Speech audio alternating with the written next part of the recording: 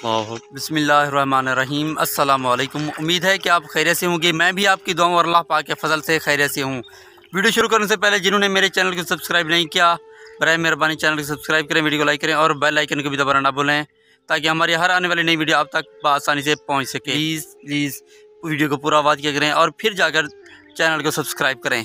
क्योंकि आप अगर पहले हमें सब्सक्राइब कर लेते हैं तो हमें कोई फ़ायदा नहीं होता, फिर ही उसे बैक कर देता है। इसमें पानी काफ़ी ज़्यादा गहरा होता है। इधर इधर लगी हुई थी कमाद में आग तो मैं वहीं देखने गया था। लेकिन आगे तो नहीं जा सके, आगे एक बहुत बड़ी नहर थी। इस नहर में तो पानी ज़रा कम है। उस नहर में पानी बहुत ज़्यादा था तो आगे हम नहीं जा सके।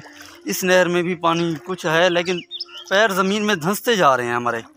हमारे घर के करीब कमाद में आग लगी हुई थी। पता नहीं किसी ने आग लगा दी।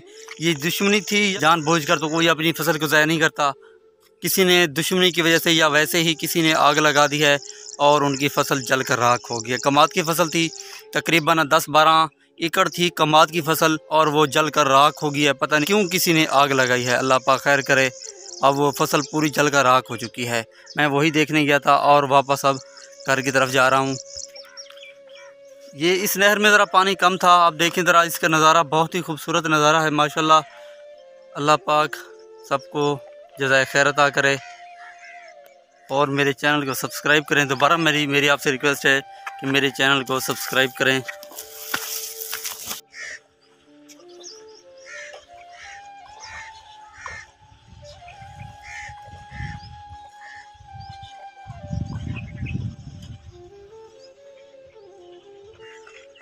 ये हम क्रॉस नहीं कर सकते क्योंकि आगे एक बहुत बड़ी नहर है।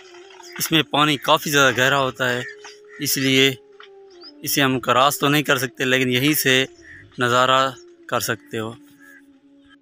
ये देखिए, जहाँ से धुआँ उठ रहा है ना, वहीं पर कमाद को आग लगी हुई है।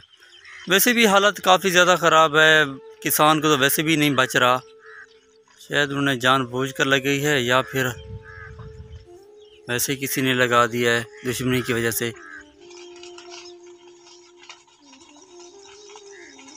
वहाँ पर पूरा कमा जल कर राख हो गया है। सारी की सारी फ़सल जल कर राख हो गया है। अल्लाह पाक रहम फरमाए। हर तरफ़ धुआँ ही धुआँ ही है। हर तरफ़ धुआँ ही धुआँ है। अल्लाह माफ़ करे।